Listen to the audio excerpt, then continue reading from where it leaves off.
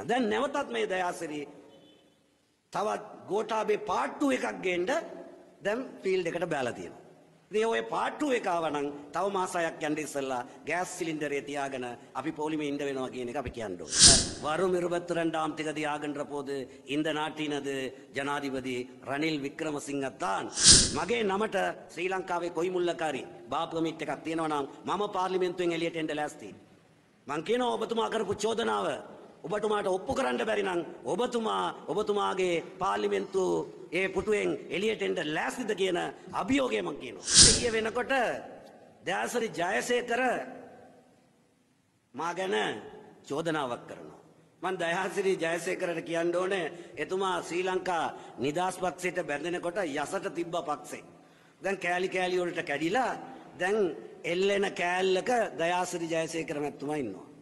මෙතුමාලා අපි ව්‍යාපාලනය ගෙනියනකොට රනිල් වික්‍රමසිංහ මැතිතුමා මේ රට සාර්ථකව කළමනානය කරණය කරලා සංවර්ධනය අරා ගෙනියනකොට කිව්වා රනිල් අරියන්න අපි ගේනවා සුපමෑන් කෙනෙක් කියලා ගෝඨාභය ගෙනල්ලා මේ රට බංකොලොත් කරපු ඒ කණ්ඩායමේ ඒ බංකොලොත් කරපු ගමනේ එක කොන්ත්‍රාත්තුකරුවෙක් තමා දයාසිරි කියන එක අපි කියන්න ඕනේ. දැන් මේ රට අද යාපත් තත්ත්වයට පත් වෙලා තියෙනවා. නැවත රනිල් වික්‍රමසිංහ මැතිතුමා ගොඩ ගන්නවා. එතුමා සමග ප්‍රගතිශීලී සියලුම කණ්ඩායම එකතු වෙලා ඉන්නවා. එතුමාට තමා මේක ගොඩ ගන්න පුළුවන් කියන තත්ත්වයට පත් වෙලා තියෙනවා. දැන් නැවතත් මේ දයාසිරි තවත් ගෝඨාභය පාට්ටු එකක් ගේන්න දැන් ෆීල්ඩ් එකට බැලලා තියෙනවා. ඉතින් ඔය පාට්ටු එක ආවනම් තව මාසයක් යන්න ඉස්සෙල්ලා ගෑස් සිලින්ඩරේ තියාගෙන අපි පොලිමේ ඉන්න වෙනවා කියන එක අපි කියන්න ඕනේ. ඒ වගේම එතුමාට කියනවා මම ලෑස්ති. මම රෙඩි. මගේ නමට ශ්‍රී ලංකාවේ කොයි මුල්ලකාරී බාපුගමිට් එකක් තියෙනවා නම් මම පාර්ලිමේන්තුවෙන් එළියට එන්න ලෑස්තියි. මං කියනවා ඔබතුමා කරපු චෝදනාව ඔබතුමාට ඔප්පු කරන්න බැරි නම් ඔබතුමා ඔබතුමාගේ පාර්ලිමේන්තු ඒ පුටුවෙන් එළියට එන්න ලෑස්තිද කියන අභියෝගය මං කියනවා. එන්ද මං කියනවා මේ තුට්ටු දෙකේ දේශපාලනය කරන්න එපා කියලා දයාසිරිට කියනවා. ඔය තුට්ටු දෙකේ දේශපාලනයෙන් අපිව නවත්තන්නත් බෑ කියන කියනවා. අපි මේ ගමන යනවා රනිල් ජනාධිපතිතුමත් එක්ක අපි මේ ගමන යනවා ඔබතුමාලා 22 විසි දෙවනිදා වෙනකොට ඔබතුමාලා නැස්තිවෙන්ඩ නැවතත් ඇරිලා මේ පැත්තේ ඇවිල්ලා පසුපෙළ එදගණ්ඩ ලෑස්තිවෙන්ඩ කියන එක මම මේ අවස්ථාව. தயாசிரி ஜெயசேகர் ஸ்ரீலங்கா சுதந்திர கட்சிக்கு போனால் கட்சியின் அடையாளத்தை காணவில்லை. துண்டு துண்டாக பிரிந்து தொங்கிக் கொண்டிருக்கின்றது.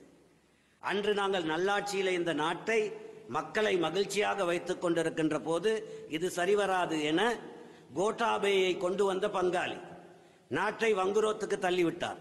இன்று மீண்டும் ரணில் அவர்கள் கட்டி எழுப்புகின்றார். கட்டி எழுப்பும் போது இரண்டாவது கோட்டாபேயை கொண்டு வருவதற்கு கூட்டு சேர்ந்திருக்கின்ற தயாசிரி என்னை பார்த்து பார் பர்மிட் எடுத்ததாக குற்றச்சாட்டை முன்வைக்கின்றார். நான் தயாசிரிக்கு சவால் விடுகின்றேன். நான் ரெடி நான் ரெடி என் என்னுடைய பெயரிலே என்னுடைய தொடர்பிலே எங்காவது இலங்கையின் எந்த மூலையிலாவது ஒரு பார் பெர்மிட் இருக்குமாக இருந்தால் அதை நிரூபித்தால் நான் பாராளுமன்ற உறுப்புரிமையிலிருந்து அந்த நிமிடமே விளங்க தயாராக இருக்கின்றேன். தயாசிரிக்கு முதுகெலும்பு இருக்கின்றதா அவர் சொன்னது. அவர் சொன்னதை அவருக்கு நிரூபிக்க முடியாவிட்டால் பாராளுமன்ற உறுப்பெருமையிலிருந்து தயாசிரி விலகுவாரா என்பதை இந்த இடத்திலே நான் வந்து கேட்க சொல்லி வைக்க விரும்புகின்றேன். அவே இவ்வாறான கட்டுக்கதைகளாலும் என் மீது சேறு பூசுவதாலும் என்னுடைய மலையக மக்கள் சார்ந்த என்னுடைய குரலை ஒருபோதும் எவராலும் நிறுத்த முடியாது.